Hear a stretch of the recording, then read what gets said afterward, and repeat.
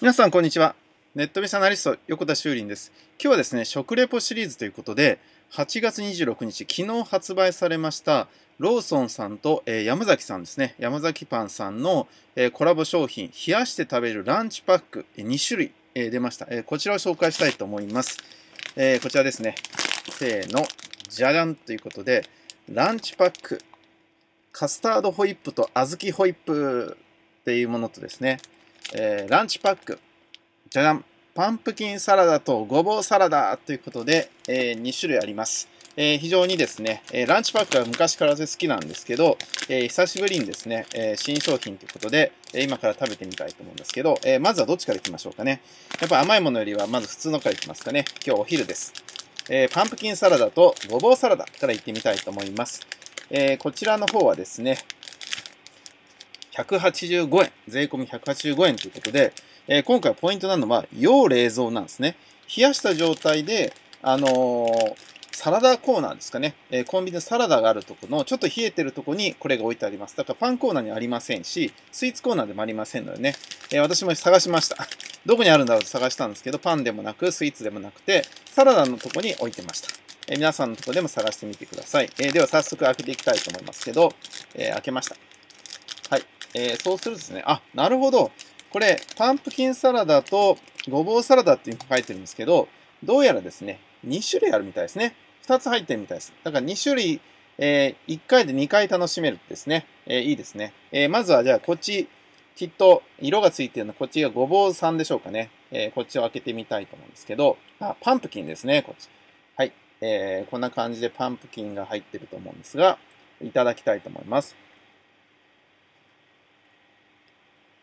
うん。うん。美味しいですね。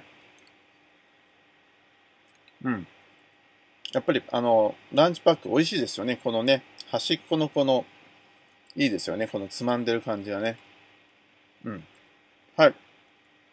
では、まだ半分あるんですけど、先にこっち、開けたいと思います。はい。えー、お分かりですかね。このごぼうの感じ、わかりますかね。ごぼうが入っています。うん。あの、ごぼうと人参ですね。うん。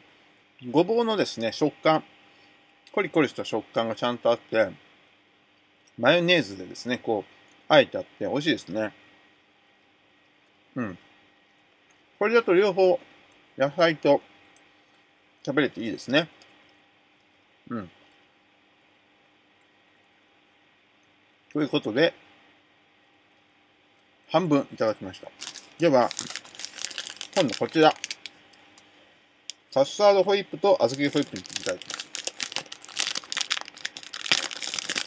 ます。もちろんこっちも2種類ありますね。やっぱり白いのと茶色のがあります。どっちがどっちでしょうね。では白い方から今回は開けてみたいと思います。白いのはこれでした。じゃじゃん。はい。えー、これはきっとですね、カスタードホイップだと思います。うん。甘い。こっちはもうおやつですね。うん。美味しいですよ。うん。まあ、当たり前ですけど、カスタードとホイップです。うん。うん。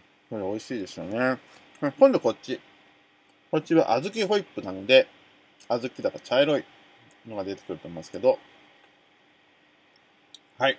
こんな感じで、小豆とホイップですね。入って、これもう大好きなんですよね。うん。うん。美味しい。うん。これあんまり、あの、冷たい感じはないんですけど、まあ確かに冷やしてると美味しいかもしれないですね。で、普通のパンの場合は、冷やしてしまうとパンがですね、あの、硬くなったりとか、パサパサしたりするっていうのを、多分克服するためにいろいろね、開発して、ローソンさんと山崎製パンさんが開発して作ったやつね。はい。えー、美味しくいただきました。えー、実はまだね、あと半分あるんですけど、半分は、えー、この動画を撮り終わった後で、ゆっくり楽しんで食べたいと思います。ということで今日は、え、119本目になりました食レポシリーズ。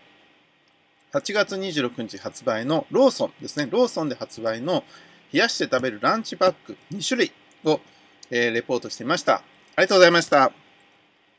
バイバイ。